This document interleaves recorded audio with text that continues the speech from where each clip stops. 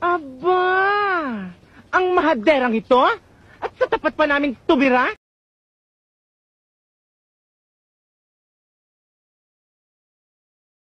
Hay nako!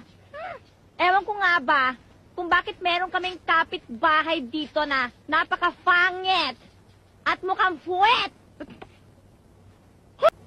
Hoy! Kung mukhang puwet ako, ikaw naman ang utot ko!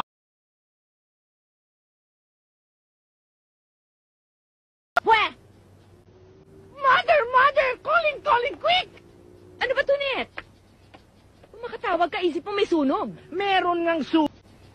Kung makatawag ka, isip mo may sunog. Meron ngang sunog! Saan? Yun! Yung babaeng yon. Ang nakikita ko, gumagawa muna siya ng maliit na sunog, pero papalaki ng papalaki!